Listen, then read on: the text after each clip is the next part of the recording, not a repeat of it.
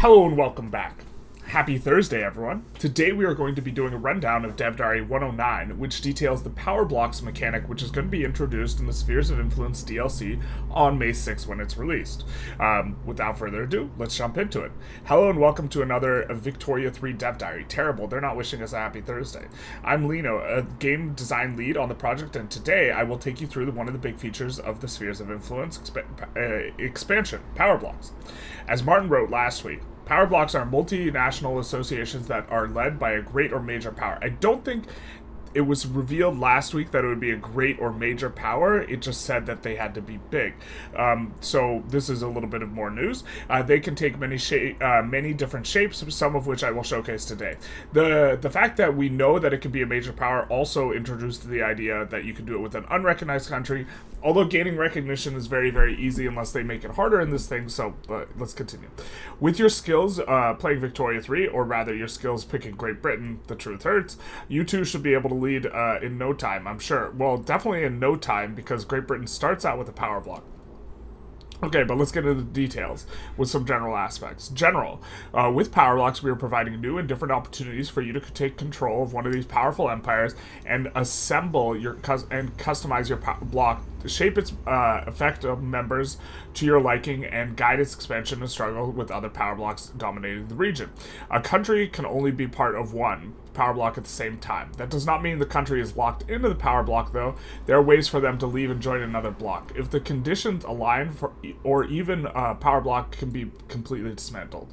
Um, great powers uh, is will generally have an easier time leading a power block than major powers due to the higher budget of influence, which is generally uh, which is part of the upkeep cost for power blocks. Now, they say this, but major powers can declare a lot more rivals, generally speaking, um, which uh, is going to make it actually such that I think major powers will have uh, access or I think that major powers generally have access to more influence because they can declare so many more rivals. Uh, but um, the thing is, is one of these things they're going to talk about it later is you're gated by prestige, and the person with the highest prestige can take over the block. So if you wanted to make a massive block as a major power, then you would still have to keep everyone's prestige lower than yours. Another thing is that. Um, it's uh, there's not really a way to lock yourself into being a major power.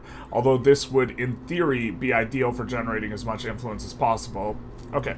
Uh, additionally, there's cohesion penalty being applied to major powers leading power block even even further to reflect that they don't quite have the authority or the respect of others.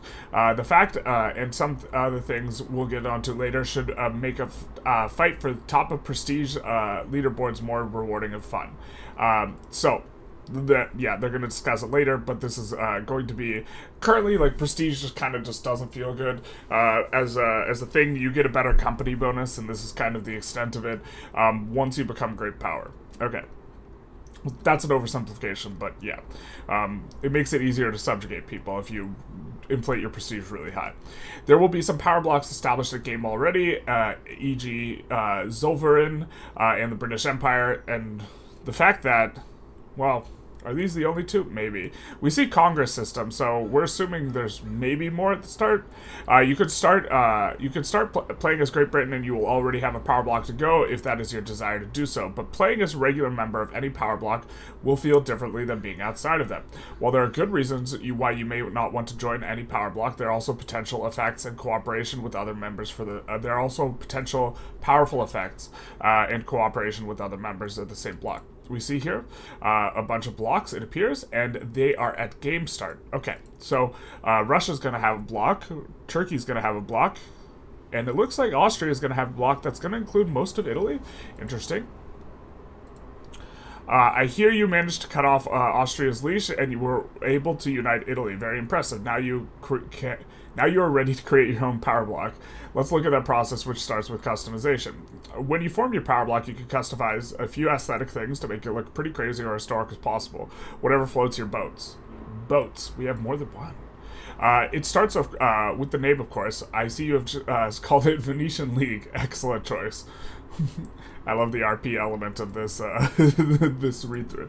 Uh, it continues with the emblem. We've added a number of options for you to choose from to decorate your crest. Please have elephants. We just want to call it something for the glory of Carthage.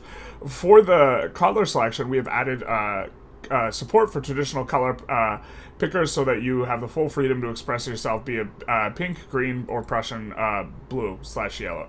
Uh, you could also see uh, there's a selection for a map pattern. The pattern will be displayed in the map modes that deal with power blocks with the, and will be the same as your primary color if you, as uh, as you may have seen from the historic uh, block screenshot. I hope to God that you can choose polka dots because I think that's so funny. Um, Japan is like my favorite flag when it comes to occupying countries because it just covers them in polka dots. So um, that'd be really excited. But it looks like this is out of 10. It looks like you won't have a tremendous amount of options, which suggests uh, a distinct lack of lack of elephants. But I'm sure people will be modding this like from day one, and we'll have a bunch of like anime waifus and stuff or whatever. Because um, I think that's like one of the more like something Britannica or whatever is like one of the more popular uh, uh, mods. But anyways, the one that like makes every flag like an anime waifu or something like that. Okay, in the next tab, you can find the statue customization window. Uh, here you can shape the looks of the fantastic monuments uh, which uh, countries of your power block can build. Uh, so, monuments, it's going to be interesting. Hey, we get elephants. Perfect. Okay. There's a variety of pedestal statues and accessories to uh, choose to demonstrate your power block's might to the world. Countries in a power block will be able to build them and profit from their effects, which can be something like and this is going to be key to read, something like influence, authority, or similar effects based on how you want to shape your power block. I wonder which is the most valuable. If influ well, so I'm hoping that influence becomes a lot more valuable because it allows you to manage the block a lot better, uh, and that it becomes much more useful to try and farm uh, influence in particular. Of course, the game rule for monuments effects will be expanded to include statues if you desire. Uh, if you desire to disable their effects and just build them uh, based on their looks. Okay, fair enough. One of the majestic statues. Oh, we can't click on it? Well, we do see her. She's... Is that fire or water or flowers or... Okay, well, she's dancing with something coming out of her hands. Another addition uh, that will bring your power block uh, more into the 3D side of the world of new vehicles depending on the style of your block. This is not... Okay, this is something. Um, the, uh, the, the aesthetic stuff generally doesn't concern me too much, but we'll go through it. We can get that drip, apparently. You also find that uh, parts of clothing from the country leaders the blocks will change. So, for example, you may see sabers, medals, or sashes being worn by them. Uh, which accessories are going to be worn is going to be the most important mechanic uh, that is going to be detailed through this entire deal. Oh, no, wait, I'm misreading it. it. Is going to be uh, uh, worn and which vehicle will drive on your roads are going to be based on what the central identity pillar you pick for the power block. Uh, we will share more information on these assets in uh, one of our upcoming dev diaries dedicated to cosmetics. Stay tuned. We get to see that drip. Okay. And then there's the beep boop. Uh, it's not outside though, so we're okay with it. Uh, speaking of central identity pillars, let's have a look to see what might interest you for the Venetian League.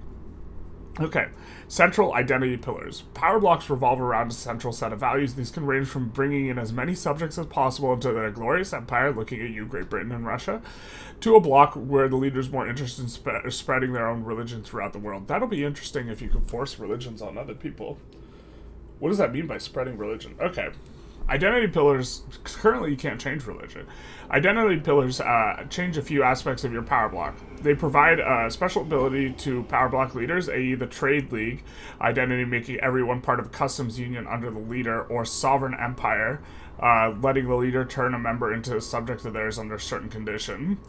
Uh, so we are assuming it might be possible to diplomatically get people as a subject again. This used to be possible, um, and if this is the way it works, um, this is going to be very strong. Um, they define some rules for your power block, i.e. how co cohesion is gained. They unlock a group of principles, which we'll talk about next. They define the rate at which you get principles mandate. So they're going to unlock juice, and you, then you spend that juice to get other types of Jews, um, if that makes sense. Uh, so, Sovereign Empire, I think we're going to see the UK start as this uh, political union. Uh, I assume this is going to be about enforcing your political will. So, Sovereign Empire, good for getting subjects. Political Union, if you can force people to open your borders with the new migration mechanics, maybe this is really good. Uh, cooperative military organization, I think, is going to mainly be defensive um, type of thing. Uh, and then a trade, well, maybe offensive if you pull in the right people, but you'd have to pull in really big boys. Uh, and then Trade League, uh, I think, is just kind of like a customs union. uh, with extra bonuses.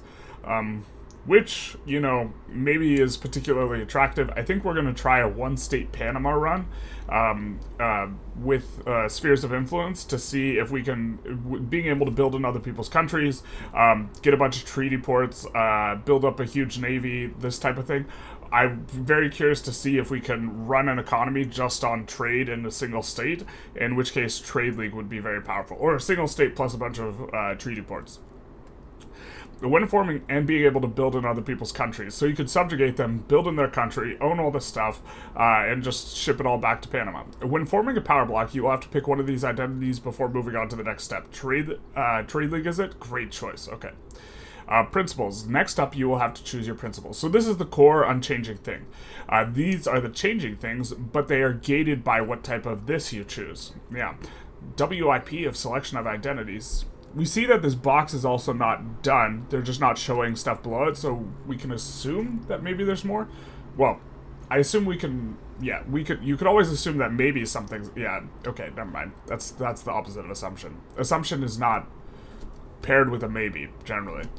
Okay, next up you will choose your starting principle. Uh, while identities provide a central idea uh, uh, and a sort of rule set for your power block, principles can provide a bit more practical expression. So these are where the bonuses come from. Uh, principles, or more so, I think. Uh, principles uh, come in groups of three levels, generally providing different effects per level of all members of your block. Some are be beneficial to everybody, while others are particularly favoring you, the great leader. Um, and so uh, I assume, uh, based on some stuff they say uh, later, the stuff that's beneficial for everyone makes it easier to pull more people in, uh, whereas like the stuff that's just good for you is going to make it harder to pull more pe people in. Something like this. Uh, the effects from principles of higher tiers uh, are added are always added to the lower ones. So if you have a tier three principle of defensive cooperation unlocked, you get the effects of tier one and tier two.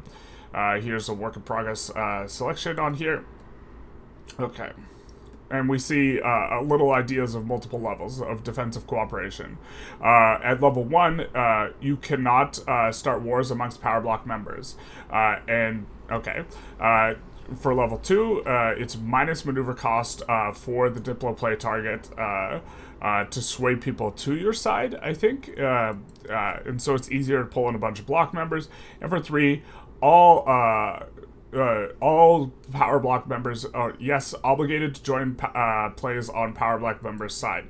And so this seems bad um, for the leader of the play because they have to join um, the the thing. But this also probably makes it easier to pull people in. They have to join if someone in the block gets decked on, assuming that only the leader is going to have defensive cooperation level 3 uh, but in return you maybe it's easier to get people into your block for other reasons like trade.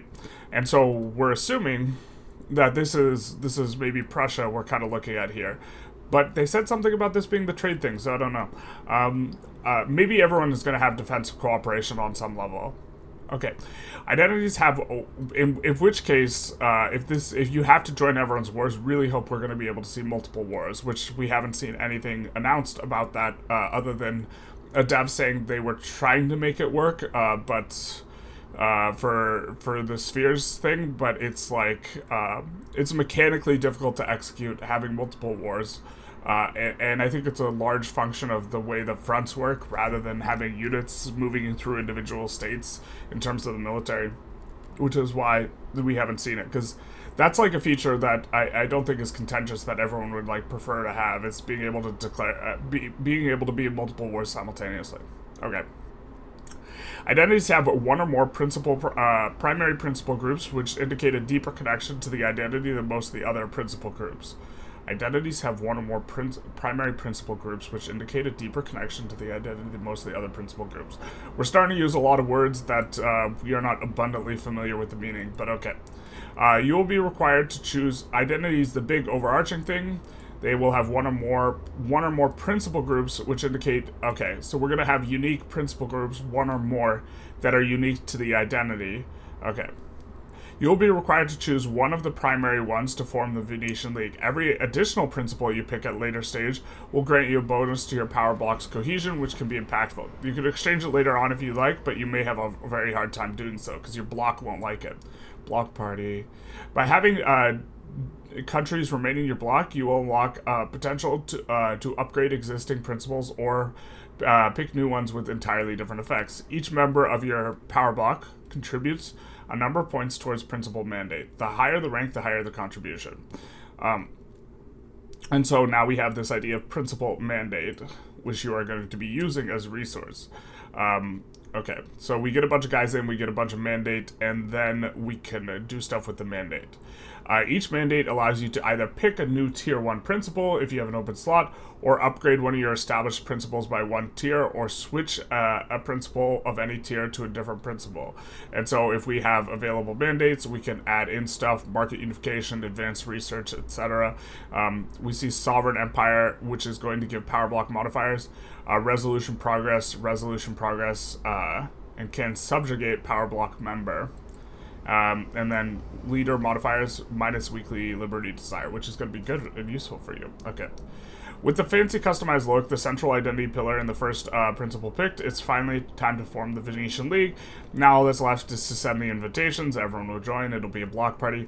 Uh, if at least one of the countries accepts, uh, your very own power block is officially formed. Congratulations. But how do you get other countries like uh, like the miners in the Austrian power block to join your block and ensure they're staying there so you can get more principle mandates, so you can get more um, juice? Okay. Uh, leverage. That's what leverage is for. Raising your leverage to overtake Austria might be a challenge, but it might be also worth it since you're weakening their block at the same time as strengthening your own.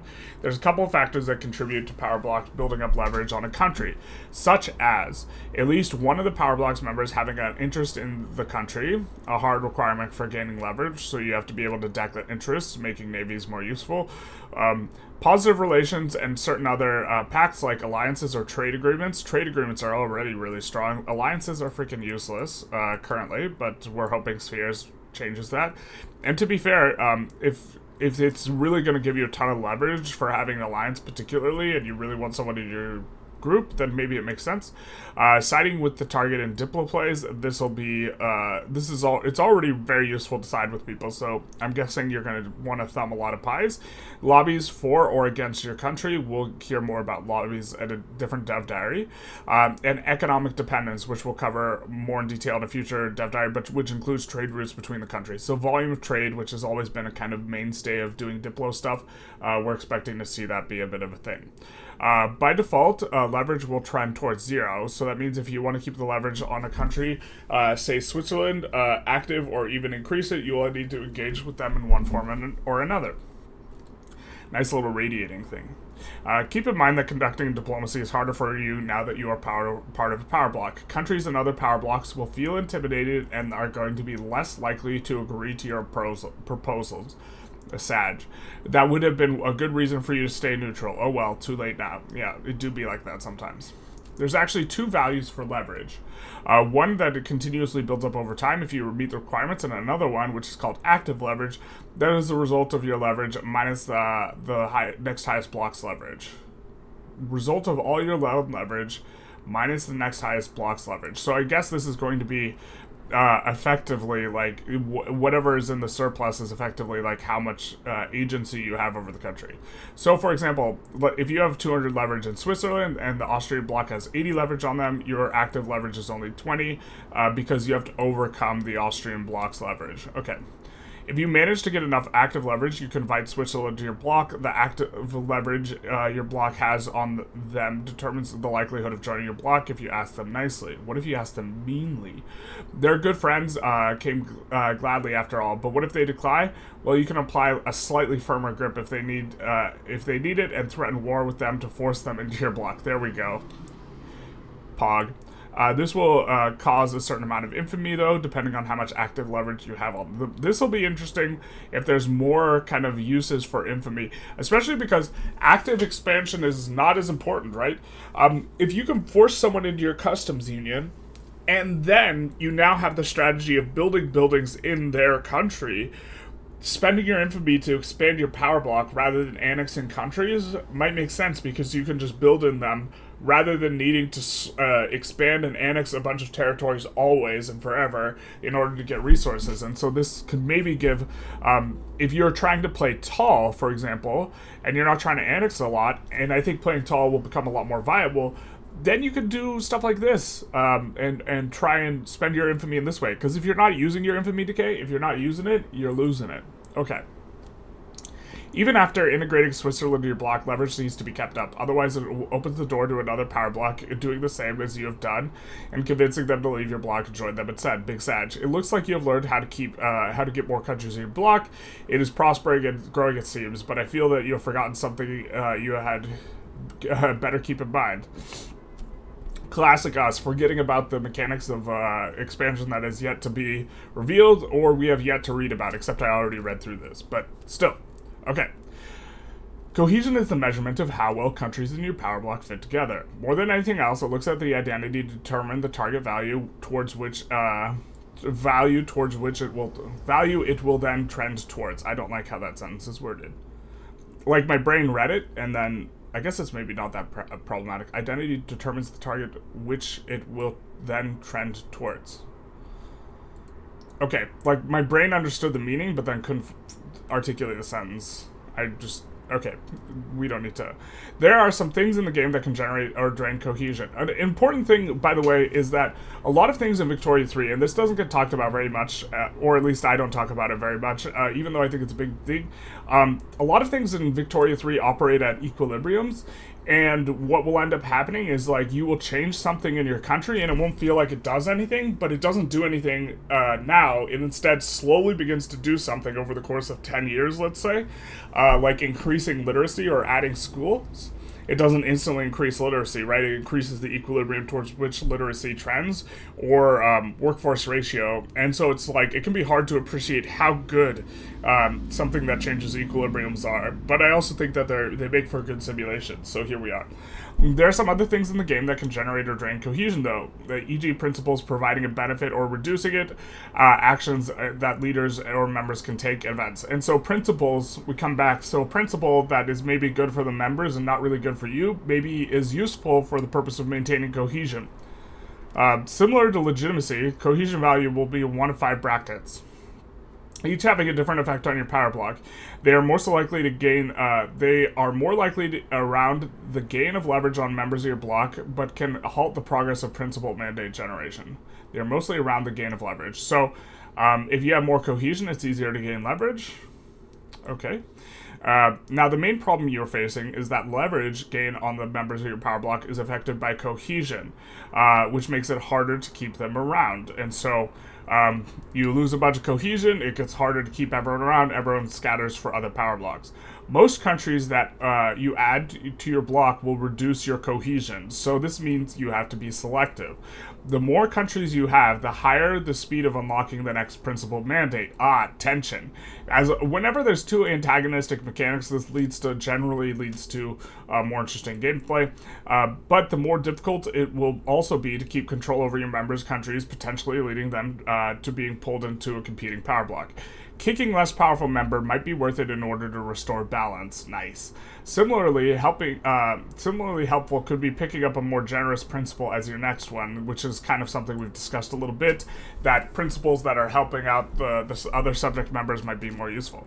When you have found a way to stabilize your block to comfortable levels, you should look for the goal to the next target. Uh, you should look for the next potential target to acquire. Okay finding a balance between how many countries you can support and keep under your reign and where you uh, invest your diplomatic resources is going to be a key to, uh, if you are leading a power block. Keeping in mind that it is going to spend, you are going to spend Diplo, um, you know, to keep everything going. I wonder if playing as a major power is going to be really good for this.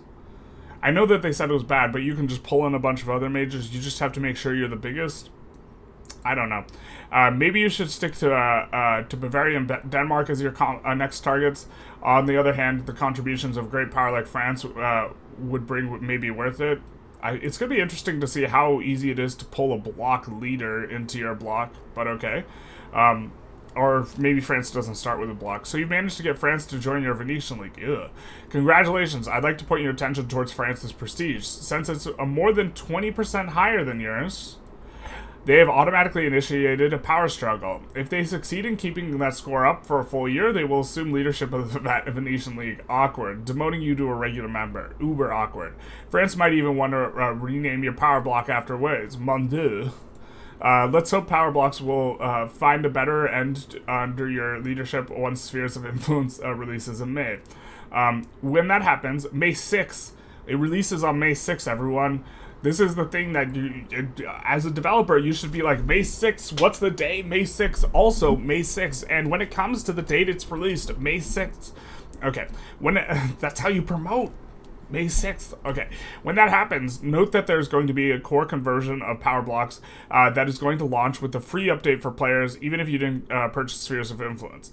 This is something that is a little bit, well, okay, the free version allows you to pick the Trade League identity, making it possible to recreate shared markets whose functionality we've moved from the Diplo Pact onto the Power Block feature. So no more customs unions without power blocks. It also replicates the sphering mechanics from Victoria 2 in a more natural way than subjugation or negotiating for customs unions or packs, though of course uh, uh, power blocks will, can take this even further with more mechanics at depth.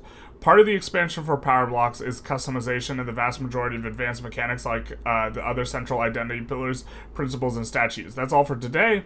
I'm going to tell you more about changes to building ownership and what that uh, enables you to do for an investment, uh, and then etc. Now, um, this is something that uh, I don't know if this is so uh, in in how should I say this with the Voice of the People release, specifically, a lot of people were upset uh, because they prepaid for Voice of the People, and then they made uh, with like the Grand Expansion, which I think the Grand Expansion also includes um, Spheres, or I I forget, um, but.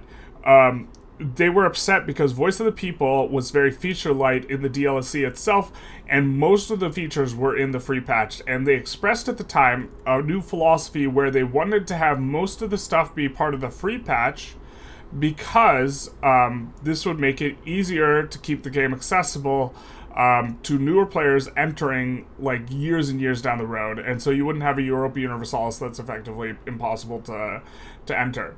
I don't know to what extent having all these central pillars will be essential. I assume it's not, but if it starts to feel like you absolutely need the DLC in order to play the game, that will be disappointing uh, because part of the good faith I think that Voice of the People was released in was this idea that hey, we're trying to keep the game accessible. Um, and uh, to people who buy the game, and we don't want a central mechanic to be left out. Now, to be fair, I think that this is, I think that they achieved this with the trade thing. But if there's functionally like a ton of things you can't do as a result of this, and it feels like you need the DLC now, then that to me means that what Voice of the People should have been more feature dense um, than it was. Uh, because I think you're either in on this philosophy that uh, the free version uh, needs to have the most uh, needs to have a certain amount of features, or you're not. We'll see how that goes. I mean, this part I think is uh, is is sufficient, but I don't really know. And this is just something I've been thinking about when it comes to people often ask, "Is the DLC worth it?" And usually my response is like, okay, Paradox games, uh, in terms of cost per hour, are incredibly good, generally speaking.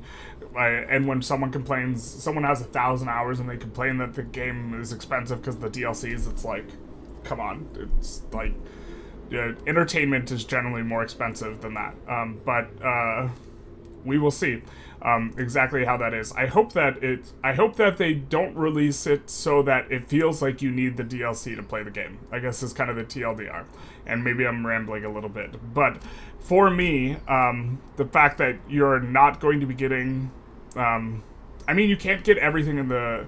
Uh, the free patch is also the thing. So like the it's this weird sort of tension where you just you have to have the game not be broken, and I think that this will do that. Uh, but I also am mildly concerned I suppose. Well, I, I mean, I personally will get the DLC no matter what, but okay. Uh, that's all for today. Next week, I'm going to tell you more about the changes to building ownership. This is the most exciting thing for me, so super excited for next Thursday. That's next Thursday, the 28th, because we always save dates. That's Thursday, uh, the 28th, and the game, the DLC, releases on May 6th. Um, uh, but that's all for an investment.